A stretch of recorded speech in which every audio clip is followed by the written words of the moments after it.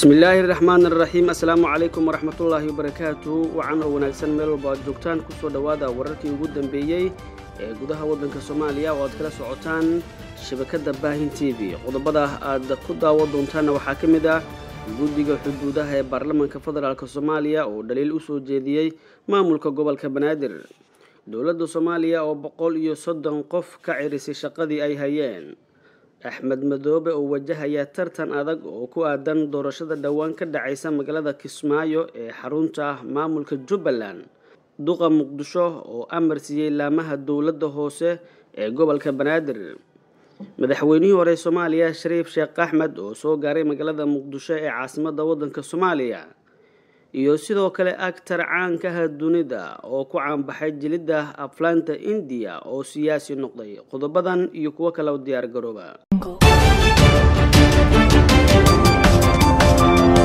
Jungle. aan ku bilownay dowladda soomaaliya oo boqol iyo soddon qof shaqada ka ceerisay dowladda soomaaliya ayaa shaqada ka ruqsaysay boqol iyo soddon qof oo dhallinyaro ah oo dalka wax ku soo baratay waxaana ku dhowaad afar sano ay si lacag laan ah ugu shaqaynayeen isbitaalka martiini oo ay dowladda soomaaliya kala wareegtay hay'addii gacanta ku haysay wasiirka wasaaradda caafimaadka soomaaliya doctor fawziye abikar agaasimaha wasaaradda shaqada ee wasaaraddaasi iyo xubno kale ayaa shaqaalaha khamiistii ku wargeliyey in shaqada laga ruqseeyey dowladdana ay qaadan doonto shaqaalo cusub. Qaar ka mid a dhakhaatiirtan oo la hadlay warbaahinta ayaa sheegay in ay u badan yihiin dhallinyaro dalka gudihiisa wax ku soo baratay iyo kuwo kale oo dibadda waxbarasho u aaday oo dalka ku soo laabtay kuna qanacsanaa dalkoodu inay u shaqeeyaan. Balse dowladda soomaaliya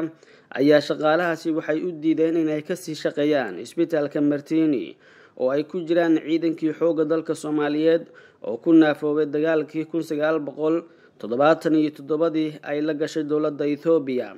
shaqaalahan oo isugu jira hablo iyo wiilal ayaa ka walacsan halka ay xaaladoodu ay ku dambeyn doonto maadaama laga ceeriyey shaqadii ay ka hayeen isbitaalka martiini mid ka mid a dhakhaatiirta isbitaalka martiini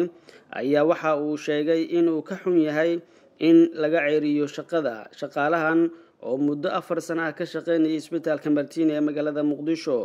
Qaarkood waxa ay sheegeen in dalka ay ka tahriibayaan haddii ay dowladdu sii go'aansato in shaqada aysan ku soo laaban dhallinyaradan ka shaqeynaysa isbitaalka martiini ee muqdisho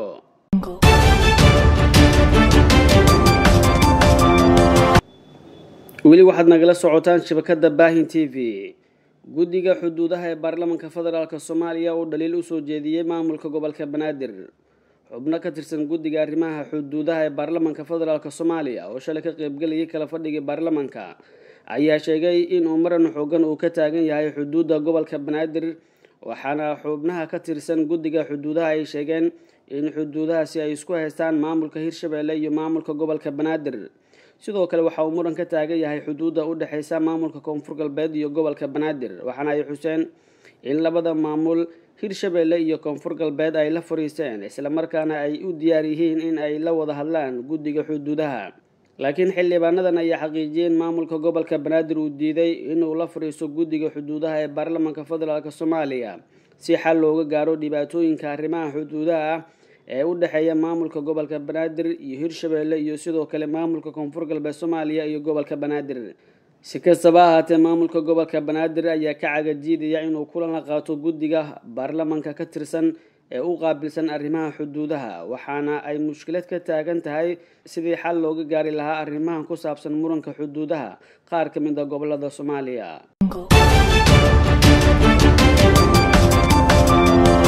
xiisada ayaa ka taagan deegaano ka tirsan gobolka galgaduud. Wararka naga soo gaaraya deegaano ka tirsan gobolka galgaduud ayaa sheegaya in xiisad dagaal ay ka taagan tahay deegaano ka tirsan gobolka galgaduud. Degmada ballanballe ee gobolkaasi ayaa lagu soo waramayaa inuu ka jiro abaabul dagaal oo lagu eedeynayo maamulka galmudug waxaana dadka deegaanku ay sheegeen in halkaasi la geeyey ciidamo lagana cabsi qabo dagaal beeleed inuu ka dhaco gobolkaasi mid ka mid ah nabadoonnada ku sugan ballanballe ayaa warbaahinta u sheegay in laga cabsi qabo dagaal beeleed abaabulkiisu ay wadaan. Maamulka galmudug waa sida uu hadalka u dhigay isagoo intaasi raaciyey in aan loo dulqaadan karin arrintaasi.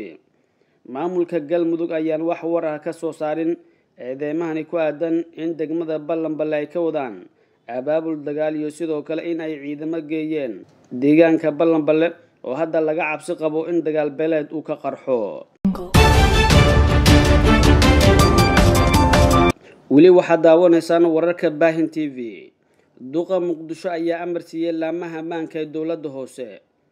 Duqa magaalada muqdisho ahna guddoomiyaha gobolka banaadir mudane cabdiraxmaan cumar cismaan injineer yariisow oo guddoominayay shirka tobta gobolka banaadir ayaa amray laamaha dowladda hoose inay dardargeliyaan howlaha nadaafadda iyo bilicda caasimadda maadaama la galay xili roobaadkii injineer yariisow ayaa ugu baaqay bulshada caasimadda gaar ahaan milkiilayaasha goobaha ganacsiga inay la shaqeeyaan. Howlwadeenada dowladda hoose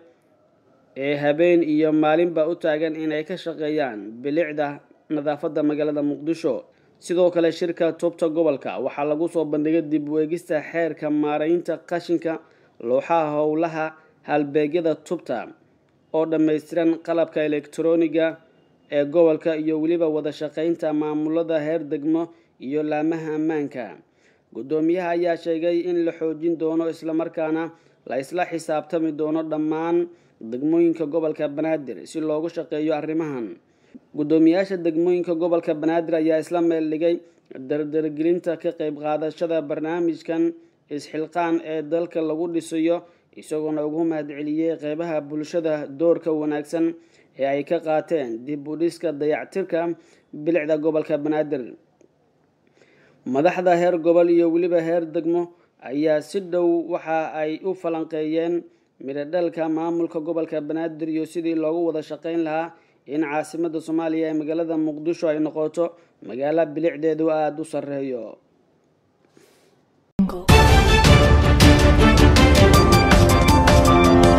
Madaxweynihii hore ee soomaaliya shariif sheekh axmed ayaa soo gaaray magaalada muqdisho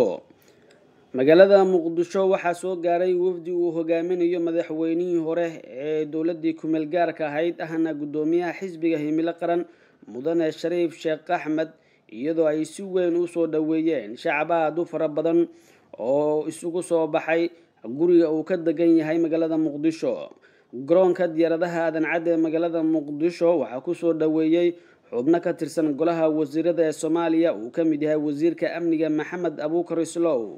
iyo sidoo kale xildhibaano siyaasiyiin iyo qeybaha kala duwan ee bulshada soomaaliyeed. Boqolaal ka mid ah shacabka magaalada muqdisho oo wata borar lagu xardhay sawirka sheekh shariif sheekh axmed iyo weliba astaanta xisbiga himilo qaran ayaa taagnaa waddada u dhexeysa garoonka aadan cadde iyo sidoo kale xarunta xisbiga. Waxaana madaxweynihii hore ee soomaaliya markii uu soo gaaray magaalada muqdisho waxa uu la hadlay warbaahinta waxaana uu ka warbixiyey imaanshaha magaalada muqdisho iyo ujeedada ka dambeysa qoraxda iyo dhafarka iyo daalka anoo ka bilaabaya mahadcelinta guddoomiyaha guddiga ee qabanqaabada ahna guddoomiyaha kumeelgaarka iyo ku-xigeenadiisa xogeyaha guud xildhibaanada dhammaan ka soo qaybgalayaasha odayaasha dhaqanka saraakiisha ciidamada iyo ciidamada bahda saxaafadda iyo dadweynaha kala duwan ka soo qayb galay soo dhoweynta aad iyo aad aa runtii sharaf weyne iitaa maanta inaan idinla joogo. Aadaan uga mahad celihayaa soo dhoweyntan qiimiga leh. Ana og xilliga kulul oo aad meeshaan wax badan taagnaydeen. Adinkoo dareenkiinu uu yahay in la helo mataqaana axsaab siyaasadeed oo runtii dalka hore u sii wada insha allahu tabaaraka wa tacaala. Waa idinku soo dhoweynayaa xisbiga himilo himilo kolley waa ladinkaga sheekeeye waan ladinkaga sheekay doonaa waana ka boga doonaa laakiin munaasabaddan waxaan ka dhigannay inay noo noqoto munaasabad mahadcelina marka mar kale qof kastoo mataqaanaa ka soo qayb galay wakti dheer bixiyey laga yaabo inuu cariiri la kulmay waa waa runtii uga mahad celinaynaa dadaalkiisaas. Waana wada joognaa insha allahu tabaaraka wa tacaala waxaan u malaynaa inaanan iloobin laashinada laashimiinta iyo mataqaanaa maxaan ku yidhaahdaa sugayahanada oo runtii qayb weyn ka ah barnaamijka wacyigelinta iyo qaadidda wacyiga ee dadka soomaaliyeed meela joogaanba. Marka waxaan idin leeyahay dhammaantiin guulaysta aad iyo aad waa mahadsantiin wasalaamu calaykum waraxmatullahi wabarakaatu